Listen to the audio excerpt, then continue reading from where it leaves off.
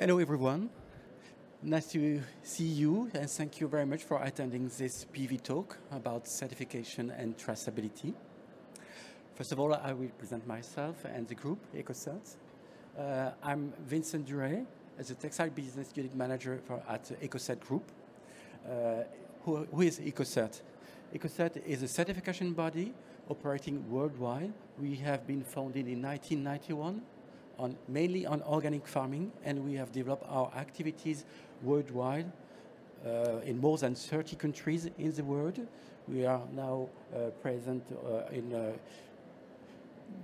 we have subsidiaries in more than 30 different uh, countries, but also we are present in more than 130 countries in the world. We are able also to certify on many different standards, but all of them are dedicated to sustainability. So we are working in more than 130 different standards worldwide. So before starting this, uh, this PV talk about certification and traceability, I would like to talk about uh, general information and especially about the global, global context. For sure, the world is changing. We are now facing for this two, three years pandemic, economic crisis, but also now uh, conflicts, especially in, in Europe, that could have short-term priorities on uh, change short-term priorities of the end consumers. We can see in the last report of uh, the State of Fashion uh, that 2023 that uh, this, this, this operators operating in textile supply chain are mainly concerned with the inflation and economy downturns. That's the, the most important point that now uh, that the, the, operators have to face with.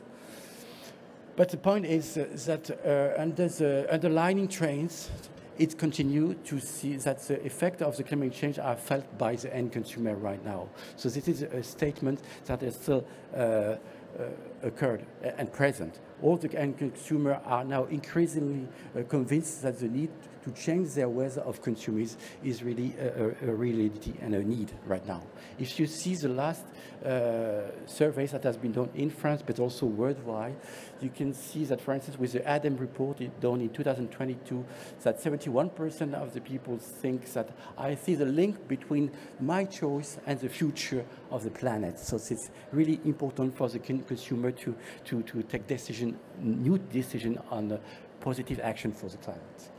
And also 97% of the consumer are willing to take action to live more sustainably.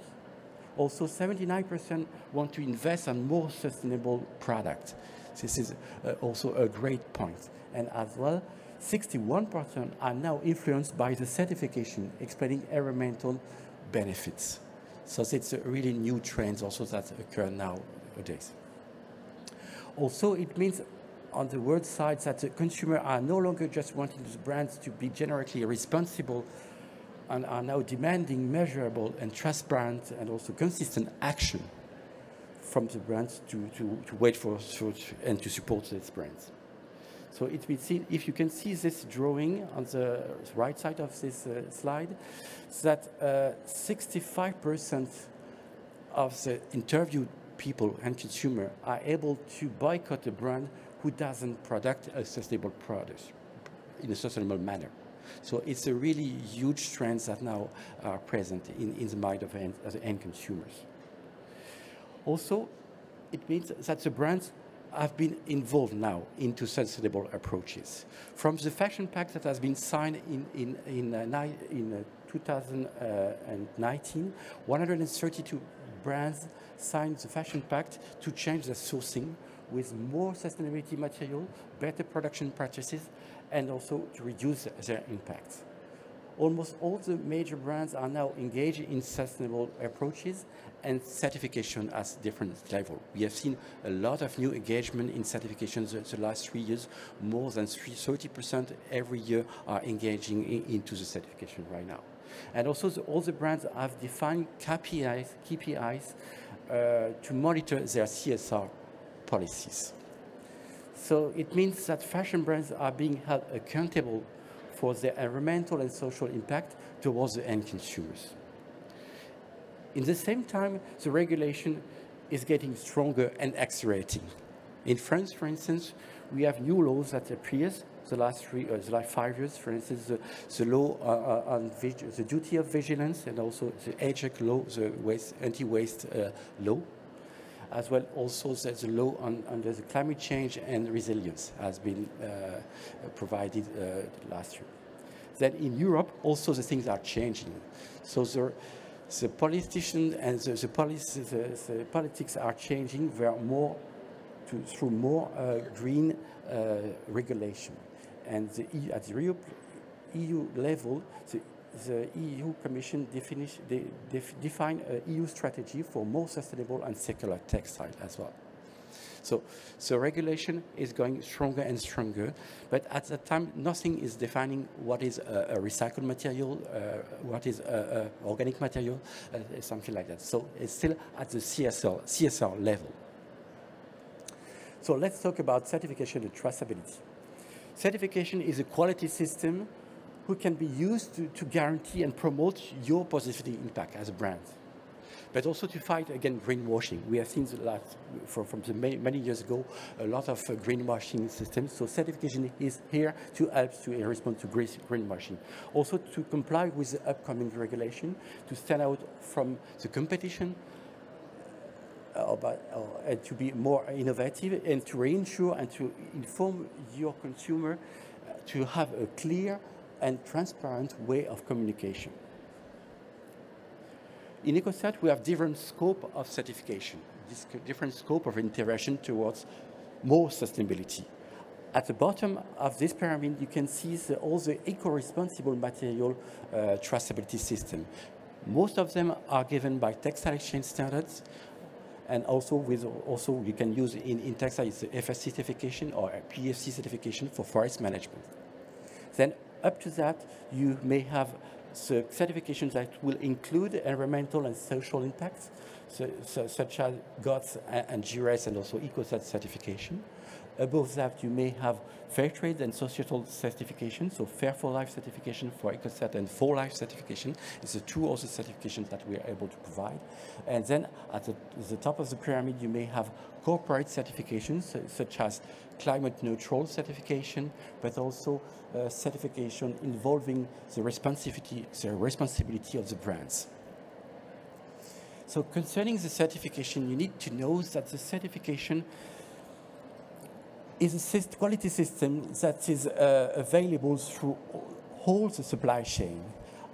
At the, each level of the supply chain, we are obliged, in order to give a certification, to audit each stage of the supply chain. From the raw material production to the distribution of, of the product, every stage should be audited. And at each stage, we will certify the, the, the, units that have been controlled, and we will be able to give transaction certificate between one uh, certified operator to another one.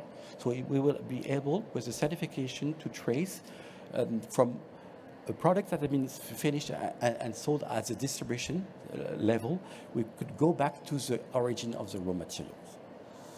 Then, uh, concerning the, the, the, the data, as a certification body, we are also able to provide and, to collect the data from the whole supply chain. Today, we are, we are collecting more data concerning the production of fiber, chain of custody, and also product data. But in the near future, it will be able also to collect the data concerning the environment, the social, social part, but also climate change. So it means traceability solution could also help the decision maker also to take their own decision. If you can see nowadays, you can find a lot of different IT uh, traceability solution provider. And concerning this study, you can see that more than 50% of the decision makers say that traceability will be a top five enabler reducing emission in the supply chain. So traceability could be a tool for boosting also the, the brands and their environmental approaches in providing more data monitoring, monitoring the KPIs, but also to see uh, how many certified entities they have within their supply chain, how many percent, uh, what is the percentage of organic uh, products they will use in their collection, etc. So to have a guideline for their uh, environmental approaches. But brands need to have reliable data and visibility on their value chain. Today, many brands have only visibility on their direct supplier. They have no visibility on what could be the origin of the raw fiber, in fact. So traceability solution could be a real tool for them to, to better know the, the, the origin of the, of, the, of the raw material.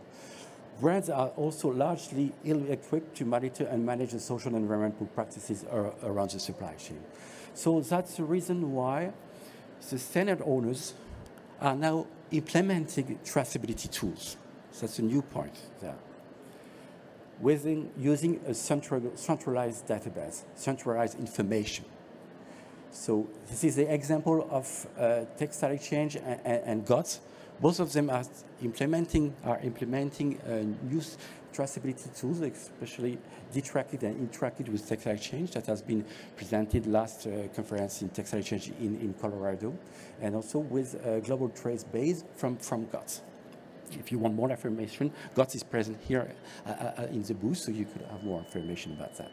But operators involved in the traceability project must accept also the disclosure of some, some inf information about their production and also uh, from the transaction data. So it's such things that could limit the, the possibility to disclose and to access to the information about, about the raw material. And also it will need important effort and investment for, for all the different stakeholders. So that's uh, the main uh, constraint also of this uh, traceability tools.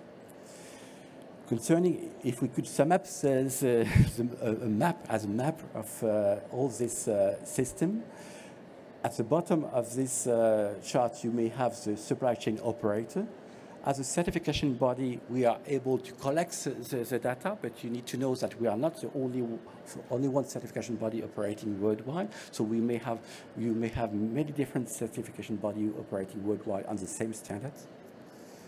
So we are collecting the information as a certification body at the operator site, and this data could be given to the traceability tools First of all, it will be mainly the standard owner who will, who will receive this, this, this data, but you, you could be also the authorities and also uh, third-party IT traceability tool provider as well. All of them is in link with, with is under the acceptance of disclosure from the operator for sure we cannot disclose information that you consider as, as confidential. If you, if you make the choice to adhere to the, to the certification, you will be obliged, for instance, with GOTS and TE to, to provide su such data. Okay. And then the traceability tools provider could be able to give the information to the brands that could be at the end available to, to, the, to the end consumers. Okay, that's the way everything is working right now. Then as a conclusion, we can say that certification and digital, digital traceability are solutions to provide reliable, reliable data.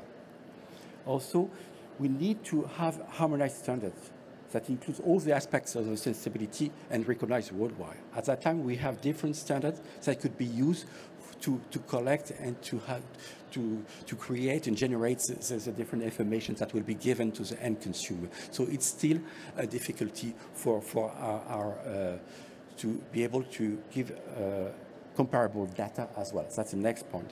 Different approaches means different measurement system on sustainability. So it won't be, we won't be able to compare the data. That's an important point. So we need to harmonize the standard in order to have comparable data. As well, there is a point about the complexity of the fashion of the fashion supply chain. The fashion supply chain is very complex. We have many, many different operators uh, in the same uh, supply chain. So if we can reduce this uh, length of uh, the supply chain, it will decrease the risk also concerning the, the brand, etc. So, so uh, very important point in order to have more reliable data and also to reduce the risk is to better manage the, the supply chain in terms also of length of this uh, supply chain. And also to, to limit the number of CVs as well, to limit the, the number of stakeholders in the supply chain. It would be better for the brands to, if they want to, to better manage the quality of the goods. Then also, as I said before, we need to manage also the confidentiality uh, at the brand's level because brands could ask the supplier to provide the data, but if the, supplier is not uh, doesn't agree to provide some some data, it will block the system. Then we need also a global vision to be efficient in our action to redu reduce impact. If we are only focused on our little things, our little activity, it's difficult to say if our action is uh, efficient or not at a global at a global side. Then we need to set common tar target to be efficient also in our action. So that's uh, the last point we, we need to see. So certification and digital traceability are really interesting to, to boost the certification and to monitor the brand approaches at a worldwide level. So it's very, very useful to act for the change. Thank you. So if you have any question, I am able to answer during five, five minutes. And uh, if not, you could go to, the, to our booth at the 4B78. Thank you.